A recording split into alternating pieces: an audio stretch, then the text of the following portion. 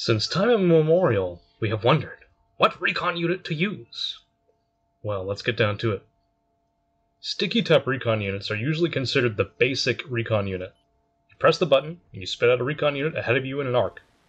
You can aim it up to send it further, or aim it down and land it closer to you.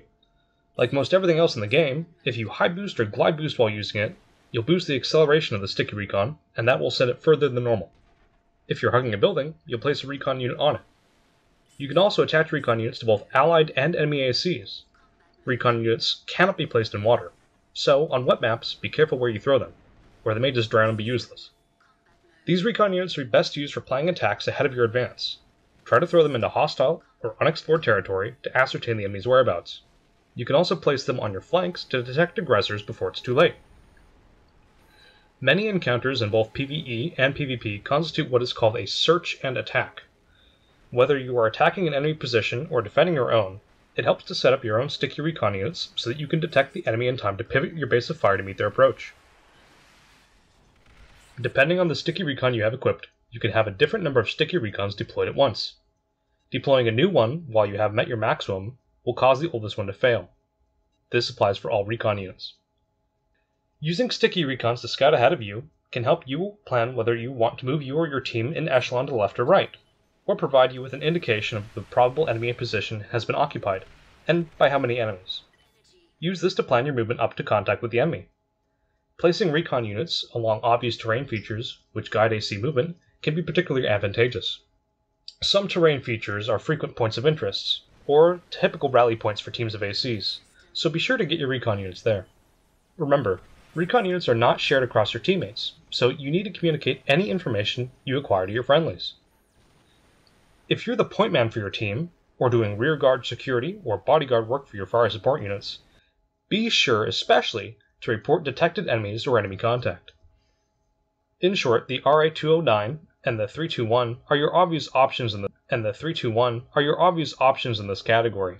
The 209 has a 250 meter detection range, and you can cast out 5 of them at a time. They're active for a whole minute. This recon unit is highly recommended for people who want to avoid surprise attacks. It can also be a really helpful tool for giving your operator a wide view of the battlefield to constantly monitor for enemy activity. The RA321 has higher detection range, but only slightly more than the 209. It is active for just a little over 30 seconds, and might be helpful if you're trying to detect an enemy at the edge of your range in close combat. 270 range is roughly where most fights will take place, so if you're using this recon in close range to identify the enemy's position, they may well already be upon you. If you plan on actively refreshing your recon unit frequently, this may be the best option for you. Follow type units are easy to use, but you can only throw out one at a time, although they tend to have pretty good range. This type of recon unit is suitable for highly mobile ACs that need to carry recon detection into an area and don't have time to set up a network of sticky units.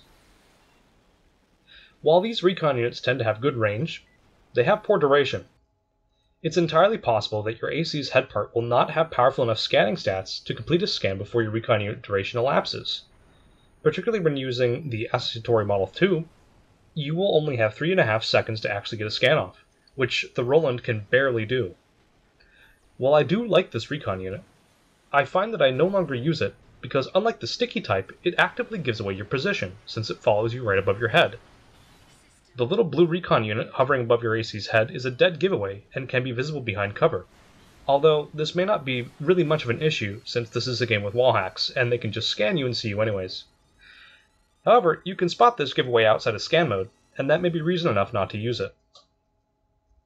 As for your options, technically you can get a full 10 minutes of nearly uninterrupted recon unit coverage by throwing up 30 of the Oscillatory Model 1 throughout the course of a game.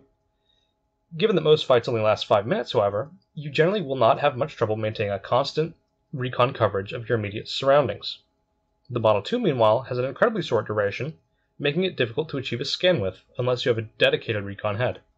It is, however, very helpful for identifying the enemy's position, and with a detection range of 500 meters, it's rather effective at identifying enemy targets.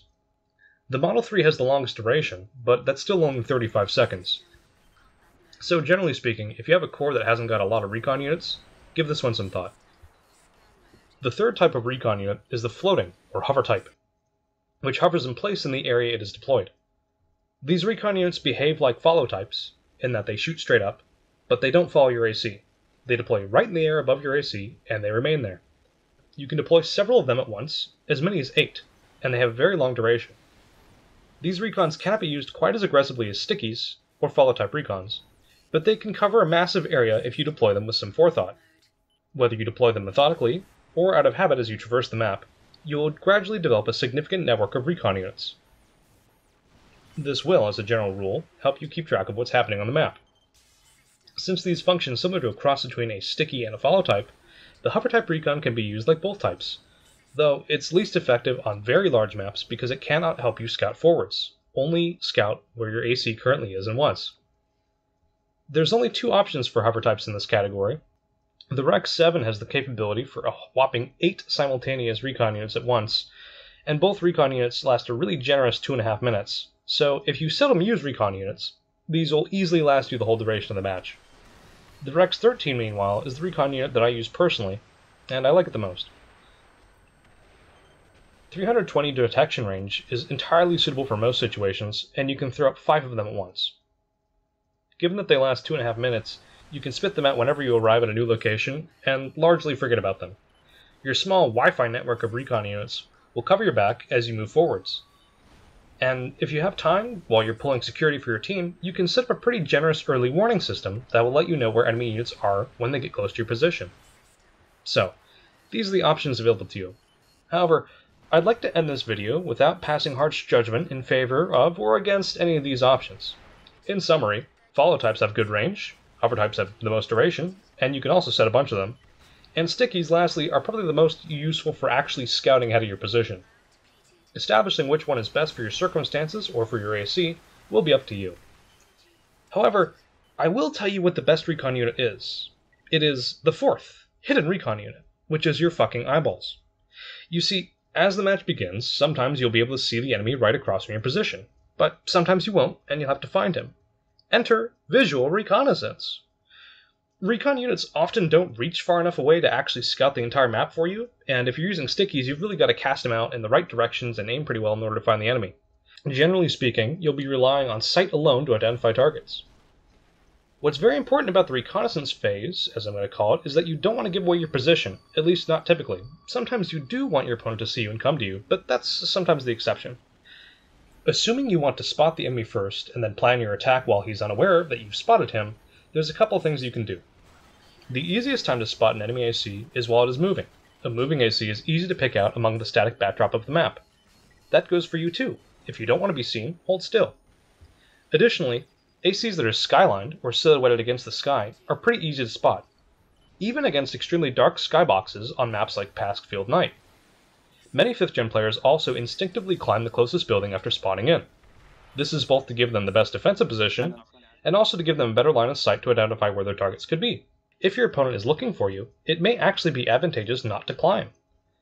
On a map that's quite small or has very close fixed spawns, you may also just skip the recon phase entirely and attack the assumed location of the enemy position, guns blazing. This will often catch them by surprise, since many people are expecting a short reconnaissance phase where they get a scan off. If they're unable to do that, they may not actually have the weapons appropriate to fight you head on at the start of the fight. If you were to do this, though, you'd probably be missing out on some important information about your enemy's AC that you might have been able to deduce just by sight alone.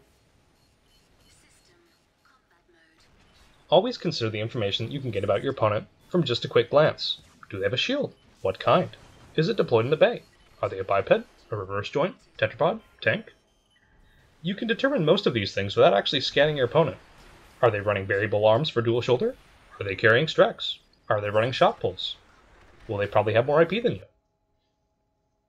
Your ability to answer these questions may actually override your need to ever scan your opponent, which will make a difference in terms of which recon units you choose to use. Do you want to primarily track the enemy, or do you really want to go for that scan? Even if you don't plan on intentionally scanning your enemy, just using recon units for the wall hacks is still worth doing if you're fighting each other from close positions. Most AC fights take place pretty close, and being able to tell that your enemy is behind the building that you're next to is pretty important work.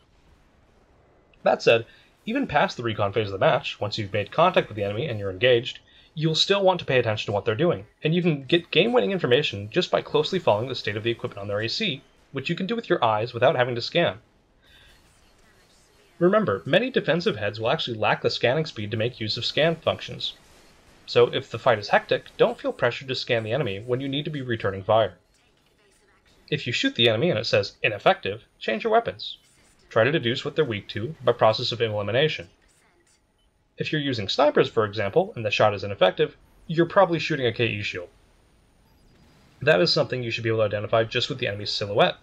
You can verify that, for example, by seeing their AC move in scan mode, and with wall hacks providing contrast for you to see their AC silhouette while it's highlighted.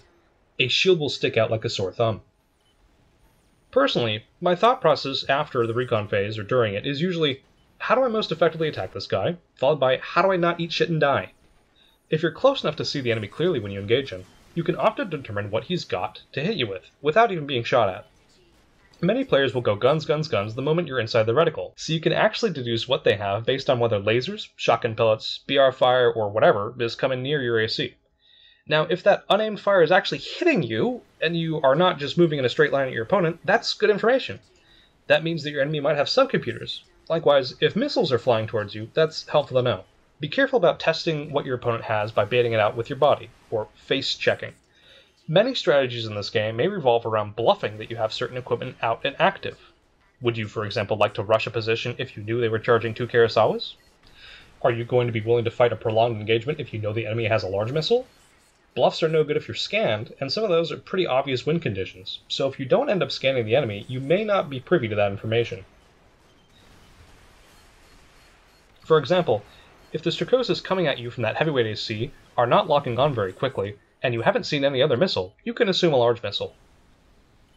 Speaking of wind conditions, if your only defense against an enemy AC is a TE shield, that is, in order to fulfill that how do I not eat shit and die aspect of your game plan, you're going to need that shield out. And that means that your opponent's objective will be pretty clear. It's he's going to want to kill that shield. Which means that your win condition is to keep that shield alive. Enter the shield dance, managing your recon units so you can tell what your opponent is using, and whether they have a shield out, or whether they can break your shield is a pretty key aspect of VD combat. You won't always have the chance to fully scan them to see what they have equipped, and if you stay out of combat to scan them, they'll oftentimes be given time to scan you. Let's think about this in terms of TE shield situations a little bit more. Say you're a solid quad, your opponent's got shot pulse. They will eventually pop your TE shield with the shotgun, and the pulse gun is going to mess you up after that happens. But since you have a high AP, and in order to, for them to kill you before you kill them, they really want to pump double pulse gun fire onto you ASAP. Maybe the smart thing to do for them is to use shot pulse, because the shotgun will still chip through your shield, but because you can retaliate with a KRSW and HSM, this is going to be a trade that you probably win, especially because you're not taking AP damage while you have the shield out. So, understanding that situation, your opponent may try to save their energy and flank around your shield in order to hit you effectively with the pulse and then eventually bring you down. Or they may use both shotguns in order to try to break that TE shield faster. Well, if you see that dork whip out two shotguns, put the fucking shield away, numbskull! The shield remains vulnerable while you're swapping it out, so the earlier you recognize what's about to shoot you, the better. This goes double for him switching weapons. If you see he's got two pulses out, you're probably not going to have time to whip that shield back out. So, keeping track of what they have out, and seeing in scan mode when they switch weapons is going to indicate for you what the shield remains vulnerable while you're swapping it out, so the earlier you recognize what's about to shoot you, the better. This goes double for him switching weapons. If you see he's got two pulses out, you're probably not going to have time to whip that shield back out. So, keeping track of what they have out, and seeing in scan mode when they switch weapons is going to indicate for you when you need to swap the shield out. This is usually called cycling the shield. The importance of this kind of interaction is amplified significantly if we consider other situations with different shields. Shot Pulse, because it's a shotgun and a pulse gun, will eventually defeat a TE shield because it has two separate attack and damage types to whittle away at it. But like Zlatko, shotgun, VTF, even autocannon fire against a KE shield is generally not going to get you anywhere.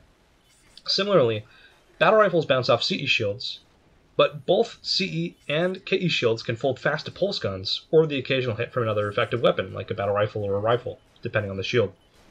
So, turns out using your eyeballs is required and rewarding you oftentimes really want to know what your opponent is about to try to shoot you with, so you can preempt their attack and reduce their advantage. Many newer players will make the mistake of spawning in with the shield equipped, and then engage the enemy without identifying what will hit them. This can potentially lose them a game winning shield. Even worse, some players, including myself, really I'm guilty of this too, will purge their bays before checking their opponent for shields. You are smarter than that. Be smarter than that. Use your eyeballs. Use the resources available to help you make smart choices. Now, go apply what you've learned. If you didn't learn shit, then let me know in the comment section. If you did learn something, let me know what was the most valuable element that you picked up. I'll try to do better next time. Thanks for watching.